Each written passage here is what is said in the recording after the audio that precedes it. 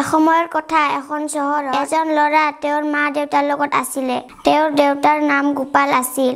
গোপাল এজন দোকানী আছিলে আৰু দোকানত সদায় ল'ৰাজনকো লৈ যায়। ল'ৰাজনকো দোকানদাৰী শিকাই আছিলে। গোপাল বহুত চিধা চাধা মানুহ আছিল আৰু গোপালৰ ঘৈণীয়েকজনী খিংখিঙীয়া আছিলে। গোপালে সদায় ল'ৰাজনক দোকানত লৈ যায় আৰু গ্ৰাহকৰ লগত কেনেকুৱা বেচা কিনা কৰিব লাগে সকলো বস্তু ভালদৰে শিকাই আছিলে। ৰাতিপুৱা লগতে লৈ যায় আৰু গধূলি লৈ আহে। সেই ল'ৰাজন লাহে লাহে ডাঙৰ হৈ আহিল।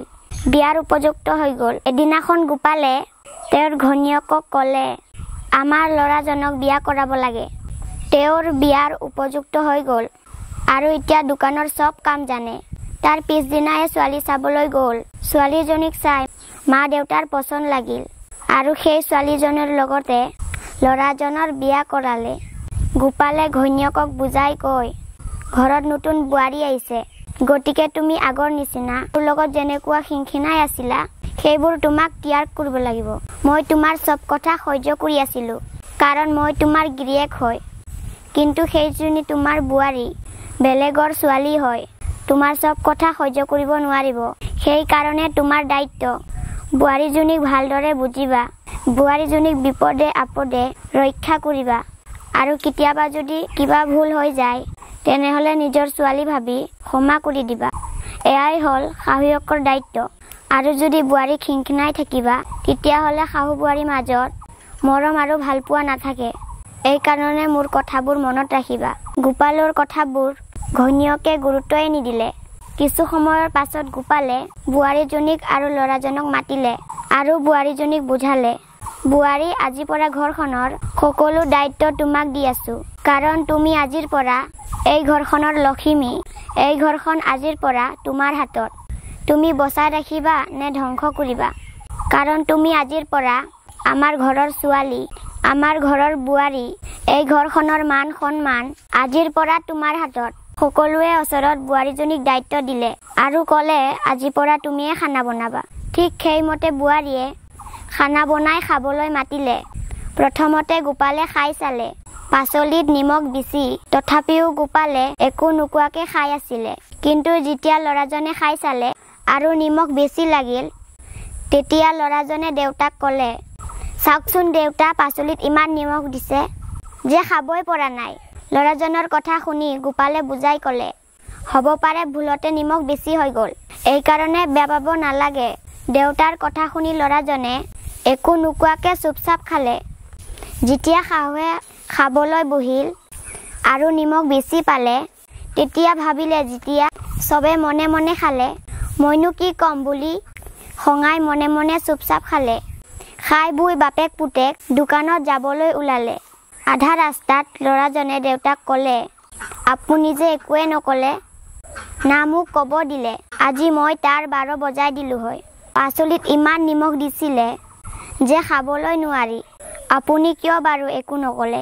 গোপালে ল'ৰাজনৰ কথা শুনি বুজাই ক'লে মই বোৱাৰীক এইকাৰণে একো নক'লোঁ কাৰণ তুমি নাজানা কাৰোবাক অপমান কৰা সমাজৰ কাৰণে ভাল নহয়। যদি সমাজত কাৰোবাক অপমান কৰা তেনেহ'লে সেইজন ব্যক্তি বেয়া পাব আৰু তোমাৰ পৰা দূৰত যাব। সেইকাৰণে মই বোৱাৰীক একো নক'লোঁ। ল'ৰাজনে ক'লে দেউতা মই বুজিয়ে নাপালোঁ। তেতিয়া গোপালে বুজালে আজি মই তোমাক চাৰিটা কথা ক'ম। এই চাৰিটা কথা যোনে মনত ৰাখে সেইজনৰ ঘৰত কেতিয়াও হাই কাজিয়া নহ'ব। আৰু বুঢ়া বুঢ়ীৰ সময়কাল সুখ শান্তিৰে কাটি যাব। এক নম্বৰ কথা হ'ল পুৰুষৰ দায়িত্ব হ'ল ঘৈণীয়েকৰ কাৰোবাৰ ওচৰত গালি দিব নালাগে আৰু মনত আঘাত পোৱাকে এনেকুৱা কথাও ক'ব নালাগে। যদি কেতিয়াও ভুল হৈ যায় ভুলটো মানুহৰে হয়। কোনেও জানি বুজি ভুল নকৰে। ভুল প্ৰবঞ্চনাটোও হ'ব পাৰে। যদি ঘৈণীয়েকৰ ভুল হৈ যায় কাৰোবাৰ ওচৰত গালি দিব নালাগে। যদি কোনোবাই নিজৰ ঘৈণীয়েকক সমাজৰ ওচৰত নাইবা নিজৰ মানুহৰ ওচৰত মনত আঘাত পোৱাকৈ কথা কয় আৰু গালি দিয়ে মাৰা পিটা কৰে সেইজনী ঘৈণীয়েক সেই সময়ততো একো নকয় কিন্তু পাছত অকলে অকলে বহুত কান্দে। কিয়নো সেই অপমান তাইক বহুত বেয়া লাগে। আৰু তেতিয়া তেওঁ একো ক'বও নোৱাৰে। বিয়া হৈ তোমাৰ ঘৰত আহিছে। তোমাৰ ভৰিত বান্ধা খাইছে। আৰু কিছুমান মহিলা এনেকুৱাও আছে। লগে লগে প্ৰতি উত্তৰো দিয়ে। আৰু তেওঁ যেতিয়া প্ৰতি উত্তৰ দিয়ে কেতিয়াও ভাবিছা পুৰুষৰ কিমান ডাঙৰ অপমান হয়। সেইকাৰণে কেতিয়াও নিজৰ ঘৈণীয়েকক আৰু গিৰিয়েকক মানুহৰ ওচৰত গালি দিয়া নাইবা মনত আঘাত পোৱাকে কথা ক'ব নালাগে। আৰু দুই নম্বৰ কথা হ'ল ঘৈণীয়েকক অকলশৰীয়া বুজাব লাগে। যদি ঘৈণীয়েকৰ কিবা ভুল হৈ যায় তেনেহ'লে তাই সকলোৰে ওচৰত নহয় অকলশৰীয়া ঠাইত নি বুজাব লাগে। যেতিয়া তুমি অকলশৰীয়াকৈ বুজাবা তেতিয়া তেওঁ তোমাৰ কথা মানিব আৰু নিজৰ ভুল স্বীকাৰ কৰিব আৰু তোমাক ভাল পাব আৰু সকলোৰে ওচৰত যদি গালি দিয়া তেনেহ'লে তোমাক ভাল নাপাই বেয়াহে পাব আৰু তোমাৰ পৰা দূৰত থাকিব যাৰ পৰিণাম জীৱনত দুখে দুখ হ'ব। আৰু তিনি নম্বৰ কথা হ'ল ঘৈণীয়েকৰ দুখত তাৰ লগত থাকিব লাগে।